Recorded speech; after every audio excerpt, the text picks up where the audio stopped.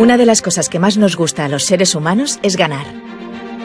Ya sea cazando mamuts, jugando al Risk, ligando en una discoteca, llegando a la luna o guerreando. El ansia de competir y ganar ha sido el motor que nos ha permitido ser lo que somos. Este impulso nos hace caminar por una hoja de doble filo. Por un lado colaboramos con los demás, logramos objetivos comunes, mejoramos el entorno. Por el otro, somos egoístas, buscamos el beneficio personal. Entre ambos extremos intentamos mantener un difícil equilibrio.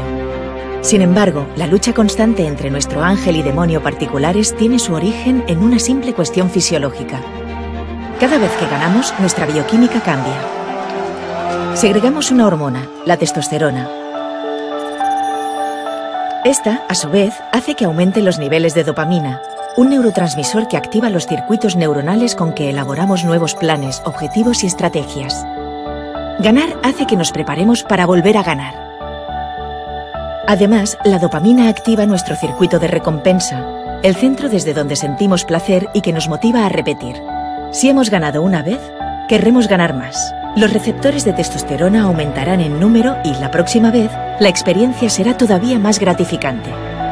El éxito, pues, es como una droga. Nos hace sentir bien, elimina los miedos, la ansiedad y la depresión. Mejora las capacidades cognitivas, nos hace más creativos. Es algo que todos buscamos. Al fin y al cabo, comparte circuitos cerebrales con el sexo. Pero ojo, también son los mismos que usa la cocaína.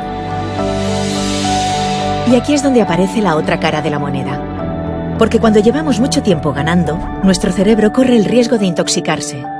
Un exceso de testosterona y dopamina puede hacer que nos obsesionemos con el éxito. Cuando eso pasa, la planificación y la búsqueda de placer se cronifican. Ya no importarían tanto los objetivos iniciales y podría aumentar nuestro egocentrismo y reducirse la empatía. Dejaríamos de estar conectados con las personas que nos rodean Incluso podríamos llegar a olvidar que alguna vez lo estuvimos.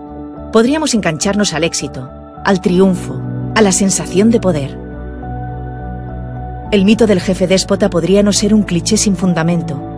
Algunas personas acostumbradas a estar en puestos altos de todo tipo de jerarquías podrían mostrar una mayor tendencia a hacer trampas y a ser poco críticos con ellos mismos. Los experimentos así lo indican. El estudio de la bioquímica del cerebro parece señalar que, efectivamente, el poder corrompe. Esta adicción podría estar afectando a miles de personas en el mundo, y algunos de ellos tendrían en sus manos el destino de otros cientos de millones de personas.